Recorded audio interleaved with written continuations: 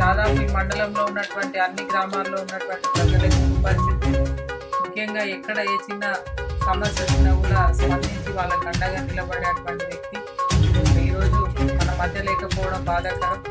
వారి కుటుంబానికి ప్రగాఢమైన సానుభూతిని తెలియజేస్తూ మరి ఆ భీమయ్య గారి ఆత్మని అందించాలని మనస్ఫూర్తిగా కోరుకుంటూ మరి ఈరోజు మరి వారి అంతిమ యాత్రలో